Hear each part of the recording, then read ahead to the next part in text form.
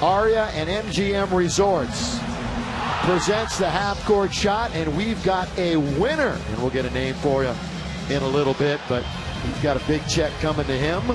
How So big? 30,000. 30 30,000. Is it 30 grand? 30,000. 30,000 tonight. Aria, MGM Resorts, thank you. He should have waited a little longer into the season when it kept growing. kind of like the lottery right now.